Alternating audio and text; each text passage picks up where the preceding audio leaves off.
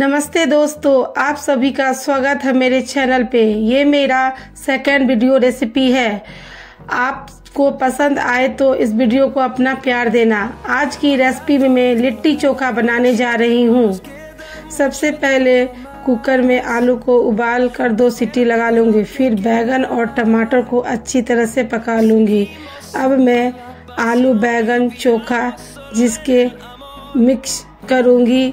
दो बारीक कटे हुए प्याज, छोटा टुकड़ा अदरक का हरी, चार हरी मिर्च थोड़ा सा धनिया, लहसुन की छः कलियाँ, दो चम्मच सरसों का तेल और सबको अच्छी तरह से मिक्स कर लेंगे और स्वाद अनुसार नमक भी डाल देंगे।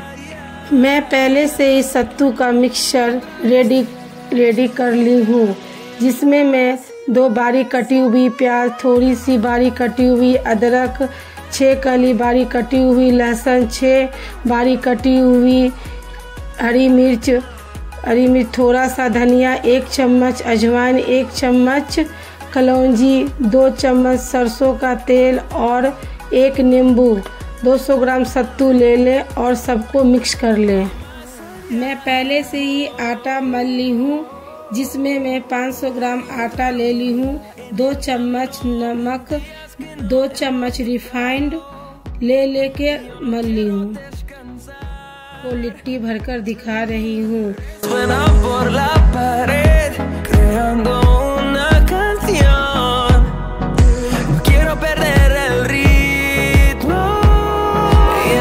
अब मैं गैस पर लिट्टी ओवन रख रही हूँ फिर उस पर लिट्टी सेकने के लिए रख रही हूँ।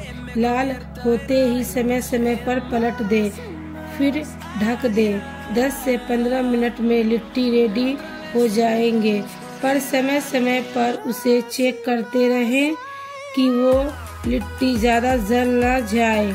लाल होने पर लिट्टी निकाल लें फाइनली मेरी गर्मा गर्म लिट्टी तैयार हो गई है, जिसको मैं अपनी फैमिली के साथ चटनी और घी के साथ सर्व कर रही हूँ।